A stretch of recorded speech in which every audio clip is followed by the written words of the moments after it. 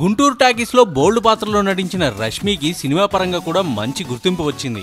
అయితే సినిమా చూసిన అభిమానులు మాత్రం రష్మిని రష్మి ఫ్యామిలీని నిందిస్తూ సోషల్ మీడియాలో కామెంట్స్ పెట్టడం రష్మిని బాగా బాధించింది. సోషల్ మీడియాలో ఐడెంటిటీ దాచేసుకొని కామెంట్స్ పెట్టడం కరెక్ట్ కాదు. మీరు ఏమనాలనుకుంటున్నారో నేరుగా నా వద్దకు వచ్చి మాట్లాడండి. మీకు తగిన సమాధానం నేనిస్తా అని అంటుంది రష్మి. ఇంతకీ సోషల్ మీడియాలో కామెంట్స్ ఏమని పెట్టారంటే రష్మి పెంపకం గురించి రష్మి కుటుంబ విలువల గురించి ఆమె తల్లిదండ్రులను నిందిస్తూ కామెంట్స్ పెట్టారు. చివరికి రష్మిని పెళ్ళి చేసుకోవచ్చు కదా అంటూ సలహా కూడా ఇస్తూ ఆమెను అవమానించారు. సగటు ప్రేక్షకుడు సినిమాని సినిమా వరకే చూడాలి. సినిమా ఆధారంగా వ్యక్తిగత జీవితానికి లింక్ పెట్టకూడదని మనం గుర్తుంచుకోవాలని రష్మి తన అభిప్రాయం తెలియజేసింది.